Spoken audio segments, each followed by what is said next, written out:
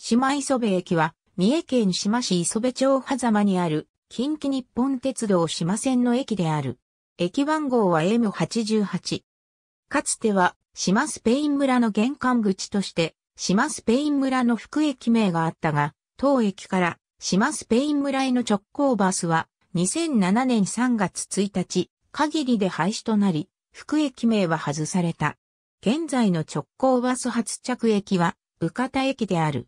単式ホーム一面一線と島式ホーム一面二線、計二面三線のホームを持つ地上駅で橋上駅舎を有する。鳥羽方単線、賢島方伏線の行き違い可能駅である。鳥羽方に二両町の引き上線がある。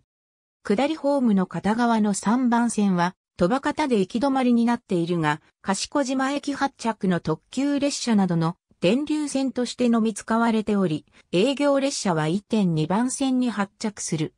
駅舎は、かつての島スペイン村への玄関口にふさわしく、スペインアンダルシア地方の建物がモチーフとなっている。下りホームが島式、上りホームが単式。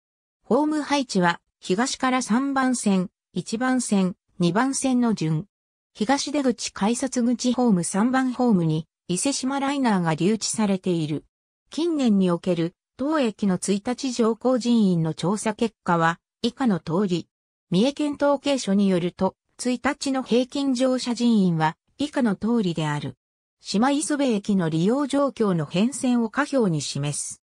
駅西方の磯部バスセンターの方が発着便が多い。狭間駅に関するカテゴリー。ありがとうございます。